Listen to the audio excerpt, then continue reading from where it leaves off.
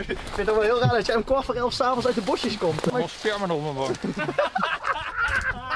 Die gewoon van honden uit uitlaat met twee van die domermans, van die grote honden. Ja, klinkt gek, maar bij verstoppertje doen in mijn eigen huis. Ja, je moet wat hè?